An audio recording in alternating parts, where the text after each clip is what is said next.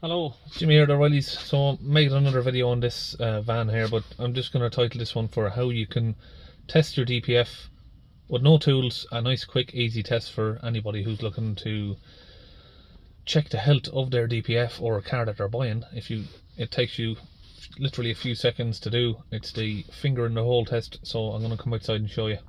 So you find where the exhaust tip is, like that. You run your finger across it and if you have a soot especially if it comes out in lumps like that. So if you've got a very very light marking of soot like this like you can see here on this side of my finger you might get away with that. But if you've got soot particles like that then that DPF is not doing its job. It's letting the soot come past now the whole point of a DPF is a diesel particle filter. That's what it stands for. So it should capture the soot particles not let them come out of the exhaust. This is not doing that. You can see there that exhaust is letting the soot come past. Now if you've got a euro 5 vehicle you might you can get away with some tolerance on that because as long as the pressure is good just because you've got a small piece uh, well large piece large pieces of soot getting past your DPF may still not flag up a fault because the pressure euro 5s uh, most Euro 5s and some Euro 6s only go by the pressure. And if the pressure is still good even though some of the soot's getting past it won't detect a problem. Uh, so you you can get away with having a DPF like this especially on an older van like the one I've got there.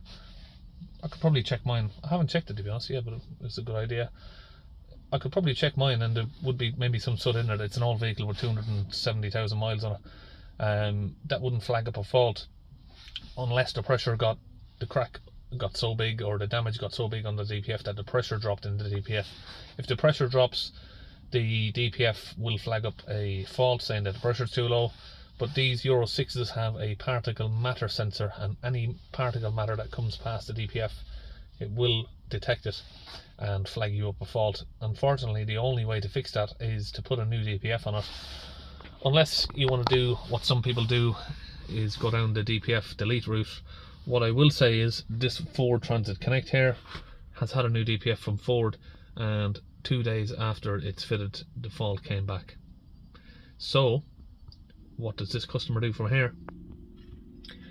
Um, I'd probably just advise trying to get rid of the van, but how do you get rid of the van? You can't just sell it onto another customer, onto another public member of the public. Um, try and argue your case with Ford maybe, or take the van to a scrapyard because it is not suitable for road use. Um, if you put a new DPF on a van and it kills it within two or three days, what are you supposed to do? Put a new DPF on every week? Um, I don't know how much he paid for that Ford. I haven't asked him, but he's also spent money in the thousands on sensors, NOx sensors, DPF, pressure sensors, and all sorts of other stuff to try and rectify the problem. Been back more than a dozen times and the fault still comes back. So that's just a quick way you can test your your sensor anyway, um, or your DPF, sorry.